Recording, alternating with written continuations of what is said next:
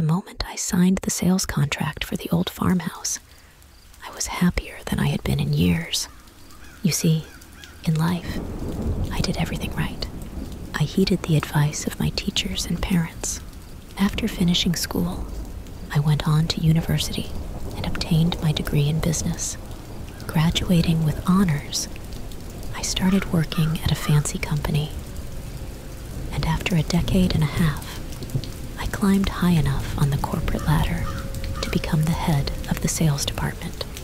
It meant a substantial salary, but also more responsibility and longer hours on the job. During these years, I moved into newer, fancier places every couple of years, bought more luxuries, but spent less and less time at home enjoying it all. With each passing year, I grew to hate my life a little bit more. I despised my job, my apartment, and even the overcrowded city I lived in. I yearned for a break, some quiet and solitude. When my Uncle Dennis died, I was surprised to be named the sole benefactor, as apparently he had no other relatives but me.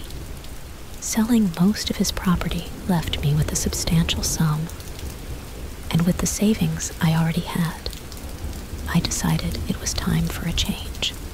I had long toyed with the idea of moving to a rural area, growing my own vegetables, getting a few chickens, and living a self sustaining lifestyle far away from the big city. It had always been a fantasy, but reality was different. There were always deadlines to meet, projects to finish, and contracts to discuss. As time moved along, year after year, I did nothing. Now, though, enough was enough. I didn't want to end up like those who finally made it to retirement, only to realize they were too old and feeble to follow their dreams. When I quit my job, my boss was surprised and flabbergasted. Of course, I still had my termination period of four weeks, but most of that time was spent making adjustments while my boss was busy finding a replacement for me. I started looking around for promising property, and after a week of searching, I found it. An old farmhouse with quite a few plots around it, located in a small village near a mountainous area. Until years ago, it had been owned by a woman. But after her death, her son had put it up for sale. Upon visiting the place, I saw that it was old and a bit run down, but I was sure all of this could be fixed. My last day of work arrived quickly, and a few weeks later, I finally signed the sales contract and began moving the few belongings I wanted to keep to the old farmhouse. Once I had put together some sort of temporary living quarters, I decided it was time to move in. I attempted to remodel the old house myself, but I was soon reminded that I never had any talent using my hands. In the end, I gave up in frustration and contracted a company for the job. It took another couple of weeks, but once they were done, the place looked nice, cozy, and modern. After the repairs on the chicken coop were finished, I bought half a dozen chickens and a rooster. By now, I decided it was time to visit my few neighbors. To the north of me, quite a bit away, lived an older lady. Next to her, a middle aged couple whose kids went to middle school. After my initial introductions, I didn't have much to do with them. To the south lived an older couple, the Rectors. They resided in a huge old farmhouse and used to be farmers themselves when they were younger, but had since retired. They were nice and assured me they'd help out if I ever had any problems. And then there was only one person left the old man living in the farm to the east of me. He was in his late 50s or early 60s, owning the fields adjacent to mine. Only a small dirt road divided our properties, and I had seen him from afar a few times. Whenever I greeted him, he'd ignore me. His face was hard, as if carved from stone, his lips always pressed together, and he had a perpetually angry expression. The moment I tried walking towards his farm, he did his best to ignore me. When he saw that I walked right towards him, he turned to me. His face showed that he'd rather do anything else but talk to me. Hey there, I'm Daniel. Lang, I bought the place. I know damn well who you are. You're the guy who bought Elizabeth's old house and made it all fancy and whatnot. Yeah, it's nice to meet you, I said, extending my hand for a greeting. He didn't budge or even look at the hand I was awkwardly holding out in the empty air between us. Why'd you move here? he asked. I was going to try my luck at farming. I always wanted to grow my own, I replied, breaking the silence. The old man burst into laughter. You? Farming? Well, your hands are as soft as a girl's. This land is tough. I'll tell you right away that you won't grow a damn thing here. We don't need no city folks like that out here. He spat on the ground in front of me. Without another word, he made his way towards his shack. For a while, I stood there, looking after the old man. I was nothing short of surprised and dumbfounded. Why had he thrown so much hate at me? What the hell was his problem? More than a bit mad, I went back home. What had I done to get this type of reaction? In the end, I told myself that he was most likely a miserable old fool who hated himself and people in general. Not my problem. From that point onward, I tried my best to get the farm going. My knowledge was limited, though. The internet, with its endless information, is fantastic, but it was all secondhand knowledge. I soon realized that if I ever wanted to learn how to do anything, I'd have to get my own hands dirty. I started with the old lady's small garden and planted a variety of different vegetables. The month after, I got the old greenhouse running again. Soon, I had to learn that real life was no harvest moon. Running a farm and growing vegetables was tough work. Needless to say, things didn't grow well at all. It was at a later meeting with Hans Rector and his wife that I learned that the ground here wasn't the best. They didn't know what it was, but almost everyone had trouble getting things to grow. You needed a lot of care and fertilizer if you wanted to succeed. A decade ago, a few small time farmers were still living here, and as things got harder, most of them abandoned the trade. Some turned to raising livestock, others changed professions. There was only one single person whose fields were still flourishing. Old Wurs. Turned out that the old man was no other than my next door neighbor. When I told the Rectors how my introduction went with him, they both started to laugh. Wurz was a bitter old man. He didn't like people and had lived alone most of his life.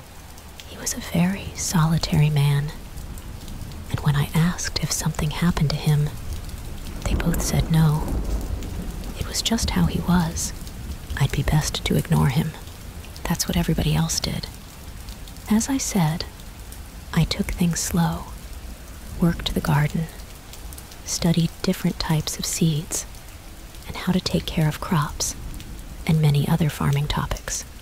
It was early summer by then, too late to actually grow anything in the fields, so I let them lay fallow for the year. As summer moved along, though, I was surprised to see how Wurs fields were bursting with ripe grain and vegetables. I mean, sure, they told me the old man was doing all right, but what I saw was more than that. No, he seemed to be doing pretty damn well. I could barely get a couple of tomato plants to bear fruit in the greenhouse, and yet he had fields of them. Harvest came and went. I was frustrated at my own inability to grow anything but also impressed at how well he was doing. I didn't like it one bit. As summer turned to autumn, there was one thing I found a bit strange. I often caught the old guy driving out into the middle of the night and returning a few hours later. I noticed it by accident one night when I decided to take a walk in the mild autumn air and gaze at the stars. On my way to the local viewing platform, car approached me from behind with its headlights off, speeding past. Yet I was sure I had seen old Werner. I didn't think much of it, assuming he might have forgotten his headlights. The article was about a middle aged woman still missing since last autumn, a mother of two who had gone on a hiking trip in the nearby area. As I started reading, Susan Rector, Hans's wife, came over. Such a sad story. I wonder why it keeps happening. Wait, hold on. What do you mean? I asked. Oh, it's those hiking paths near the mountains. Each year, people vanish there. The authorities say it's slippery slopes, and people aren't careful enough. I wonder why they don't close it off, Susan added. Ah, really is something, her husband said. They always warn hikers and climbers, but people won't listen. A mother of two. God, what was she even thinking? As I listened to them, I learned that more than a dozen people had gone missing near the mountain range last year. It hadn't only been the woman, but an older man as well. They said it was almost inevitable that people went missing there. Of course, people talked to the local council, but they didn't listen. The normal hiking paths and climbing locations were safe and secure, and there were enough warnings about straying from the paths. While I listened to them, there was something in the back of my mind, something that I couldn't quite grasp. Only when I returned home and saw old man Werner stalking around his fields did I remember what it was. The woman who had gone missing in autumn? Wasn't that the time he went out on all those trips? I realized what my brain was trying to put together. And the more I thought about it, the more everything did fit together. He drove out in the middle of the night, headlights off, to an unknown location. And there was this special fertilizer of his. For a moment, couldn't help but imagine old man Werner out on the hiking paths at night, searching for lonely wanderers to turn them into fertilizer. But what was I thinking? I almost burst out laughing at my own ridiculous idea. This wasn't a movie. This was real life. Somehow, though, I couldn't completely get rid of the idea. I don't know why I did it, but I started to spy on the old man. It might have been my frustration. It might have been boredom. It might have been the resentment I felt towards him. I don't know. It was not that I believed in my idea. It was way too far fetched. I told myself that all I wanted was to figure out how he grew his crops and what sort of fertilizer he used. I knew I was only lying to myself, though. Was more about this old fool. The strange behavior and that fertilizer of his. The more I thought about it, the more I was able to convince myself. You see, whenever I saw him out in the fields applying his fertilizer, my thoughts went back to the same topic. I told myself to just stop and leave it alone, but I just couldn't. It wasn't long before my curiosity turned into an obsession, and I started to keep tabs on him. I took notes on how often he went out, when he got up in the morning, how long he stayed up in the evening, and many other things. It wasn't like I had much else to do.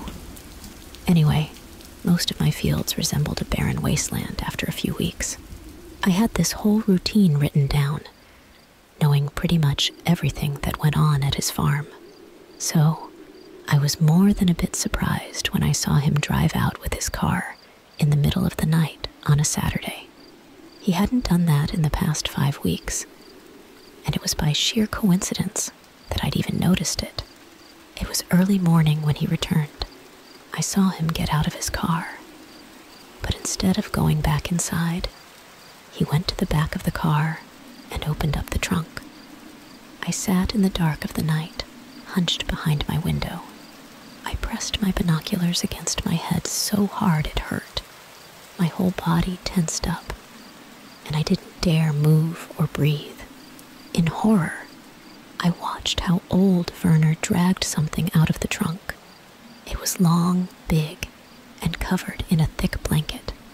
I watched as he heaved it over his shoulder, taking a first step towards his shack. I saw something long and thin dangle from the pack. Oh, Jesus Christ, I thought. Don't tell me. Was that what I thought it was? Had I really seen that? No, no, no, no, no. I must be wrong. I was seeing things. Maybe I'd imagined it. But what I'd seen dangling, it couldn't be. I thought back to the lady in the newspaper article. Was this another one? Another victim? Another ingredient for his fertilizer? I had to go and find out more. I should take a look at the shack. The moment I saw how old man Werner returned from his shack, all thoughts about going there completely left my mind. It was dark, but in the moonlight, I could clearly see that his hands and lower arms were covered in something. I saw his dark, angry expression as he made his way back to his house. My whole body was filled with fear. For the first time in my entire life, I was honestly and utterly terrified. I couldn't help the urge to hide. As soon as he walked back to his house, I knew there was a reason for it. The old guy couldn't possibly see me. I had the lights off, and I was way too far away for him to notice anything at the windows. Once he vanished inside, I started to calm down, at least a bit. My mind was still a crazed whirlwind of contradicting ideas. One part of it said I was stupid, and nothing was going on. The other part told me that old man Werner was a crazed serial killer. Even in bed, I couldn't calm down. And it took me a long time until I actually fell asleep. When the rooster awoke me in the morning, I was thankful that the few hours of sleep I had were undisturbed and free from dreams about bloody old men. While I was drinking my morning coffee, I was watching his house as I had done every morning for the past few weeks, as if nothing had happened last night. The old man went out to take care of his fields, and this guy really murdered someone last night and dragged the body into his shack. As I sat there, I was almost shaking with curiosity. I had to find out. I knew that every week on Sunday evening, he spent an hour or two at his shack, and during that time, likely mixed up his fertilizer. Once he was done, he went back to his house and most likely straight to bed. This might be the best chance to see what he's up to in there. The whole day, I was antsy and couldn't sit still. I made plans on how I'd approach and how I'd find a bloody body lying on the floor of the shack. When the day finally turned into night, I turned off the lights in my house to give him the impression I went to bed early. He'd believe it, I was sure, thinking that us city folks don't work as hard as he did in his arrogance. All the while, I sat at my window, watching him with my binoculars. My cue was when the lights of the shack turned off, and the old man went back to his house. I dressed in all black, and after waiting for another half an hour, I made my way outside with low and quiet steps. I approached his place, and for the first time, I wasn't mad at how well his corn had grown. It allowed me to get near his house without having to hide. Once I was closer, I checked out his farmhouse from between the corn. The lights were off. There were no sounds, and nothing was moving. It was clear that the old man must have gone to bed. To be on the safe side, I still waited for another ten minutes. When they passed, I rushed to the shack. My heart was beating heavily when I made it, and everything stayed quiet. I wasn't too surprised to find the door locked by a padlock. Even though I knew there was no way I'd be able to open it, I had imagined that I'd be lucky enough to find the door unlocked. Anyways, now I went for the window of the shack that I was able to see from my house. I knew it would be locked too, but it was one of those old wooden windows, consisting of two shutters, held shut by a metal bolt in the center. I might be able to pry it open wide enough to loosen the bolt and open it. I pried away the two shutters from one another until I could fit my finger in between. At that point, I knew where the bolt was. I'd have to be careful.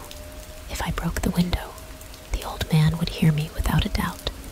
After a nerve wracking minute of toying around with a couple of tools, I finally loosened the bolt and the window opened. I scanned the window frame and the area below.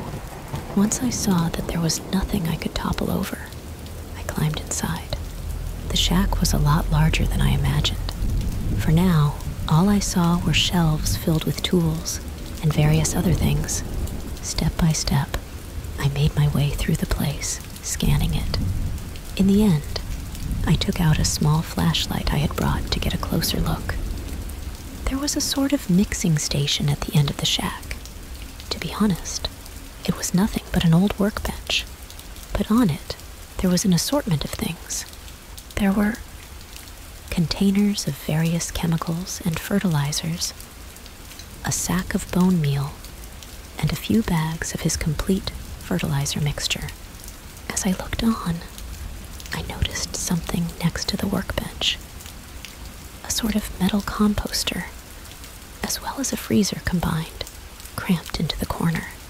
Next to it, the composter was quite modern, probably one of those quick composters I had read about. My skin started to crawl as I stared at it. I took a deep breath, and after toying with it for a bit, I figured out how to open it.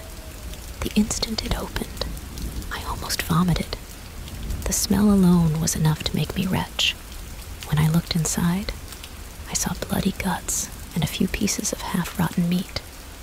Cursed and stumbled back in shock and disgust, crashing straight into the assortment of containers on the workbench. A number of them clattered to the ground in an ear shattering noise. My eyes grew wide. You goddamn idiot. What the hell did you just do? I turned off the flashlight and waited, hoping against hope that old man Werner would stay asleep. My prayers weren't answered, and my heart almost stopped when I heard the front door of his house open. God damn it, what's going on out there? If it's you damn kids again. He said nothing else. Oh, did he see the window? I tried to think. I tried to remember if I closed it after me, but I couldn't.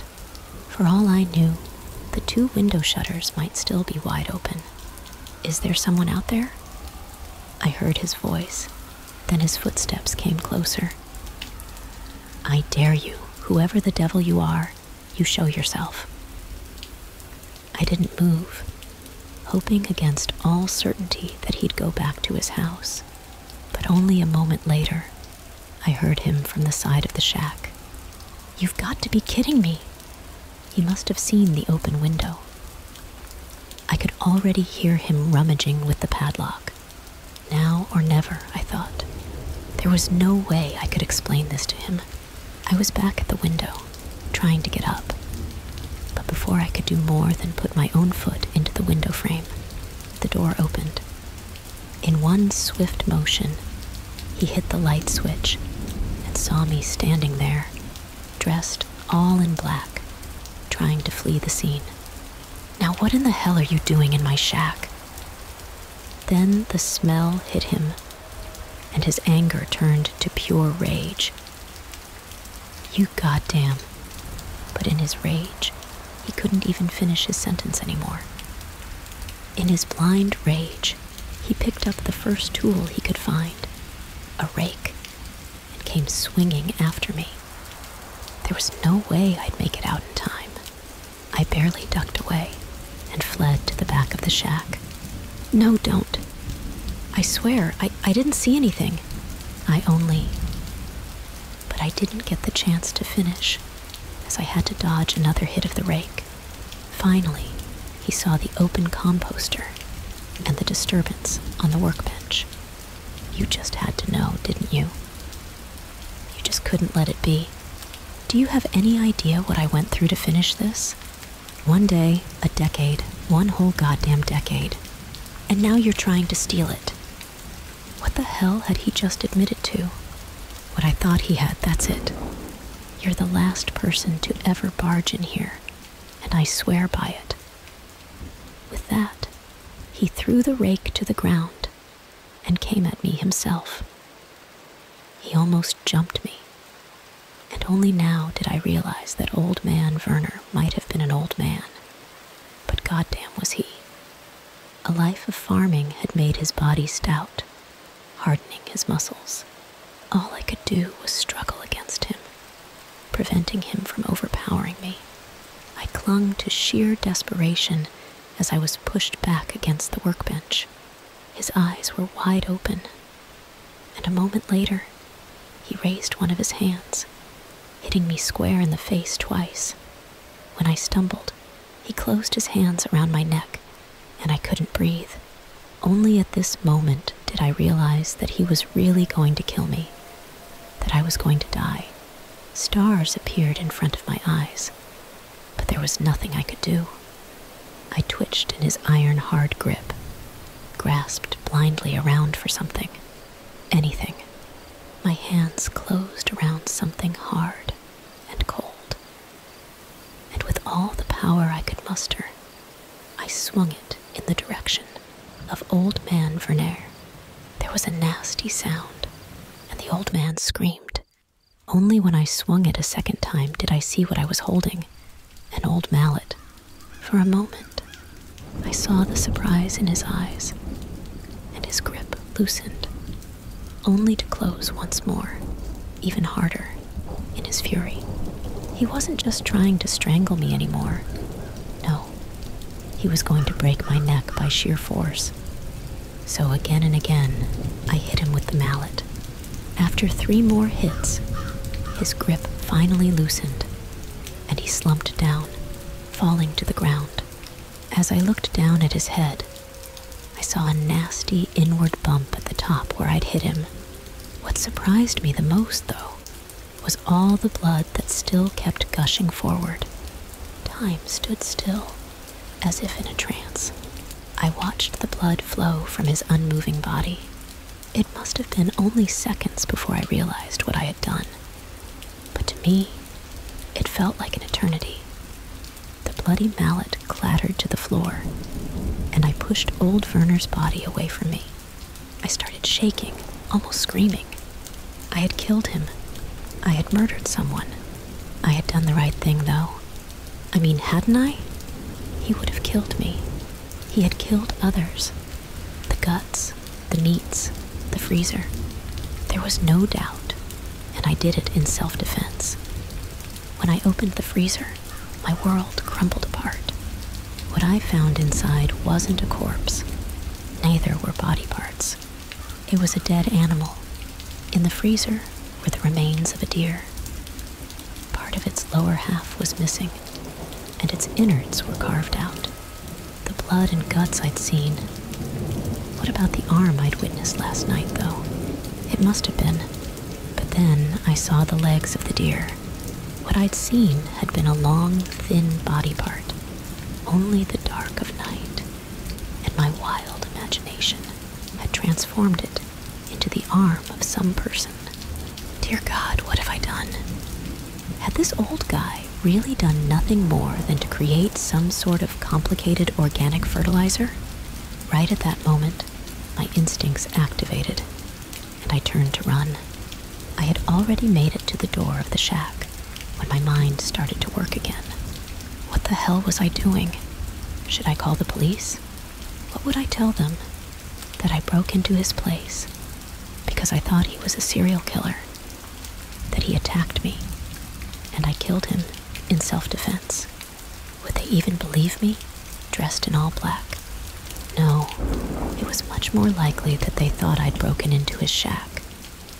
Guy's thoughts plans, and perhaps the darkest secrets. My curiosity got the best of me, and I began flipping through the pages, discovering entries detailing his peculiar experiments and twisted philosophies.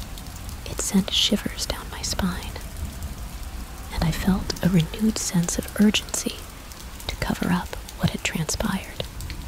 I took a deep breath, focusing on the immediate task at hand. Closing the notebook, I placed it back exactly where I found it. The last thing I needed was to be implicated in whatever madness this old man had been involved in. Returning to the cornfield, I retrieved the bag of fertilizer, making my way back to the shack. I carefully disposed of the bag inside, making it blend with the other farming supplies.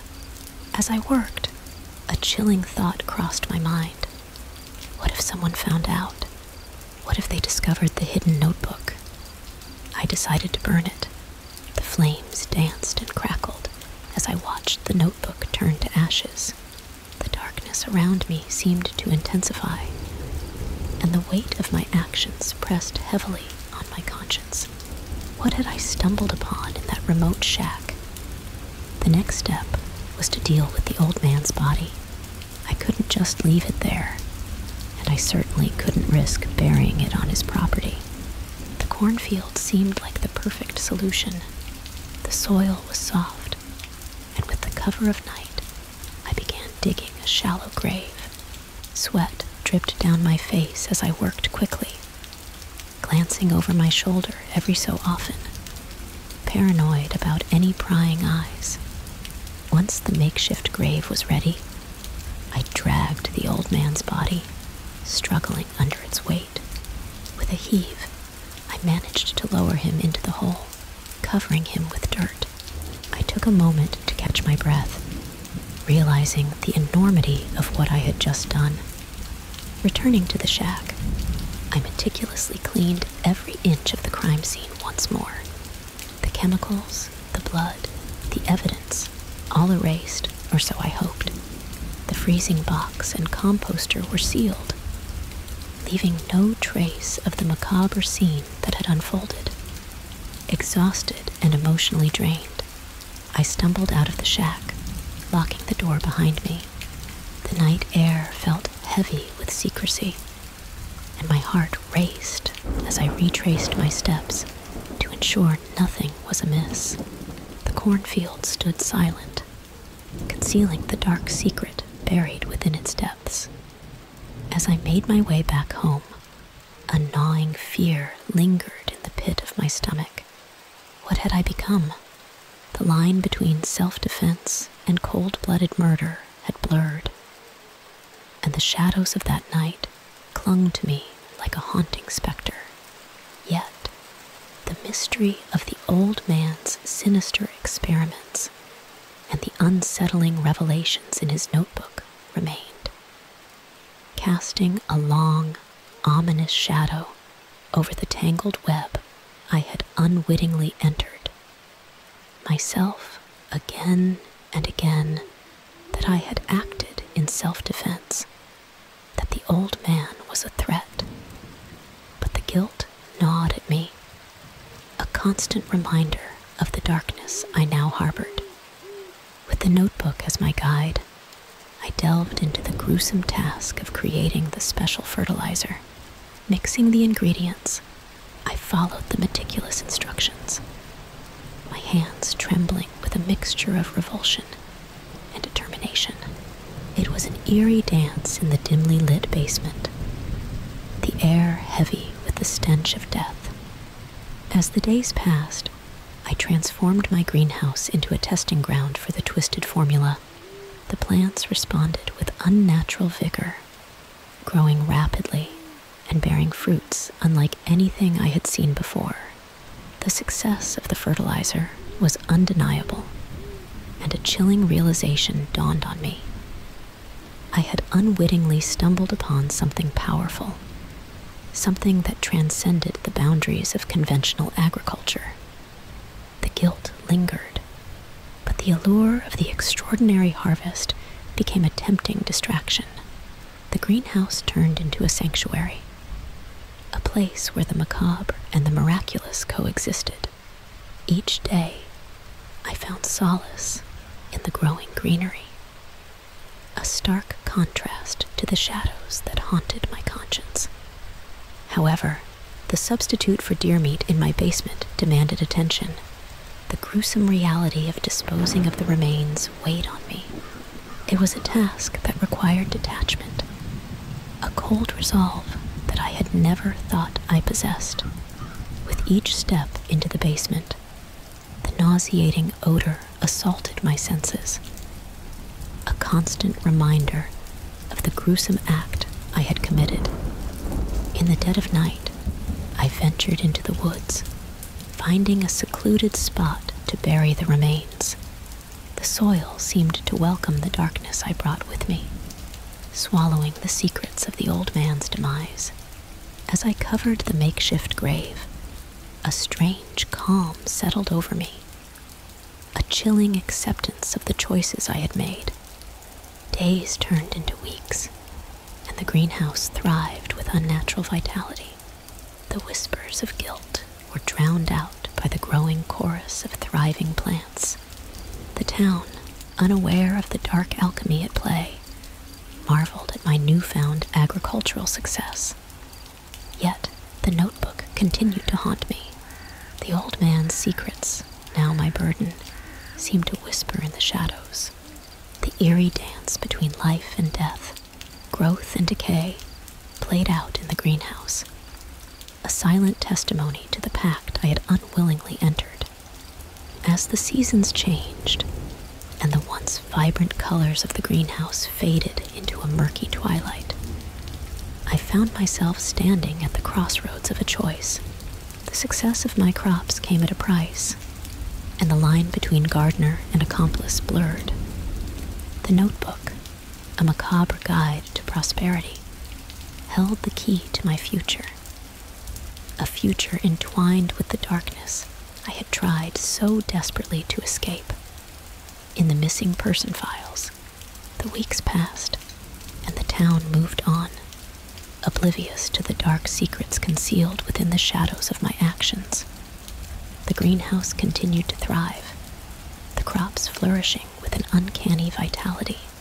The town praised my newfound agricultural prowess, and I played the role of the successful gardener, concealing the gruesome truth that fueled my success. The notebook, now hidden away, served as a constant reminder of the pact I had made with the macabre. Life went on, and the guilt that had once clawed at my conscience gradually dulled. I convinced myself that old man Werner had been a threat, that I had acted in self defense, and that the dark alchemy in my greenhouse was a means of redemption. However, the disinterested police officer returned one day, accompanied by a faint sense of suspicion. He asked more probing questions, delving into the details of the night old man Werner supposedly vanished. I maintained my composure, weaving a web of lies to shield myself from the prying eyes of law enforcement. As the officer left, his disinterest remained, but a seed of doubt had been planted. The small village buzzed with rumors, whispers of the mysterious disappearance that lingered like a ghost. Townsfolk exchanged glances, and I felt the weight of their gaze, a silent judgment that hung in the air. Days turned into months, and the greenhouse's unnatural bounty continued to flourish. The town's fascination with my gardening skills grew, and I became a local celebrity, a facade that masked the darkness within. The missing person case of old man Werner faded into obscurity, overshadowed by the vibrant colors of my extraordinary harvest. Yet the shadows of the past refused to dissipate entirely. The greenhouse, once a sanctuary, now felt like a gilded cage, trapping me in a delicate dance with the secrets I had buried. The success I had achieved came at the cost of my peace of mind. And the guilt, though subdued, lingered like a persistent specter. In the quiet moments of the night, as I tended to the thriving crops, I couldn't escape the haunting memories of that fateful night. The notebook, locked away but never forgotten, whispered promises of prosperity and pitfalls of damnation. As seasons changed, and the greenhouse stood as a testament to my unholy alliance with the unnatural, I found myself at the mercy of the choices I had made. The town celebrated my success, unaware of the darkness that loomed beneath the surface, a darkness that threatened to consume the fragile balance I had meticulously crafted. The town's interest in Old Man Werner's property waned as the seasons changed, and the unsettling rumors about his disappearance lingered. His house, now for sale, stood as a silent testament to the mysteries that had unfolded within its walls. However, no one showed any interest in the property, as if an invisible barrier kept potential buyers at bay. Late in the year, as winter approached, my greenhouse became a haven for thriving crops. The fertilizer I had meticulously created had matured, transforming the once ordinary plants into vibrant, robust specimens. The tomatoes, in particular, had flourished, exhibiting a richness of flavor and size that surpassed any expectations. It was a bittersweet triumph, a harvest tainted by the shadows of the past. Six months prior, I had upgraded the greenhouse for winter farming, creating an environment conducive to the growth of my extraordinary crops. The success of the fertilizer was undeniable, and as I tended to the flourishing plants, a sense of satisfaction mingled with the ever present guilt. Observing the greenery, I couldn't help but notice the exceptional health of the plants. They surpassed even old man Werner's, thriving under the unique conditions of the greenhouse. A subtle suspicion crept into my mind. Was it the greenhouse itself? Or had my own addition to the fertilizer played a role in this unnatural abundance? As I typed out these thoughts, a grim irony dawned upon me, and laughter bubbled up from within. The very essence of the old man, once a threat and now a vital component of the fertilizer, had inadvertently contributed to the success of my crops. In a twisted turn of fate, his quest for the perfect formula had led him to become a part of it. The greenhouse, now a realm of paradoxical prosperity, harbored the secrets of a macabre alliance between life and death. The town remained oblivious to the dark alchemy at play, and I continued to wear the facade of the successful gardener, concealing the unsettling truth that lurked beneath the surface. As winter settled in, I found myself caught between the satisfaction of my thriving crops and the haunting echoes of the past. The greenhouse, once a sanctuary, now stood as a chilling reminder of the choices made and the unholy pact forged in the pursuit of agricultural excellence. In the quiet solitude of my greenhouse, surrounded by the vibrant foliage that conceals a tale of dark alchemy and unintended consequences, I reflect on the journey that brought me to this unsettling equilibrium. The once whispered rumors of old man Werner's disappearance have faded into the background, overshadowed by the facade of a successful gardener. The property, once belonging to the enigmatic old man, lingers in the periphery of the town's awareness, its fate hanging in a delicate balance. The house, with its secrets hidden within, remains untouched, a silent witness to the peculiarities that unfolded within its walls. As winter blankets the landscape, my greenhouse continues to defy the natural order, a testament to the success born from a sinister blend of life and death. The tomatoes, ripe and bursting with flavor, are a symbol of the grim irony that permeates this horticultural sanctuary. In this closing chapter, I find myself caught between the satisfaction of my thriving crops and the haunting echoes of a past stained by choices made in desperation. The town remains blissfully unaware, the shadows of my deeds concealed beneath the superficial allure of agricultural prowess. As the seasons turn and the greenhouse stands as a living paradox, I am left to ponder the consequences of a pact forged with nature's darker forces. Grim irony persists, a silent reminder that sometimes prosperity arises from the most unexpected and unsettling alliances. In the stillness of this horticultural haven, I grapple with the duality of my existence. A successful gardener on the surface, yet forever bound to the shadows that dance between the rows of flourishing crops. The old man's pursuit of the perfect formula, though twisted and macabre, inadvertently became the key to a harvest that defied nature itself. And so, the greenhouse stands as a quiet mausoleum of secrets, a living testament to the blurred lines between right and wrong, life and death. As I close the door to this chapter of my life, I am left to wonder how long the facade will hold, how long the town will remain oblivious to the grim irony that thrives within the heart of my thriving garden.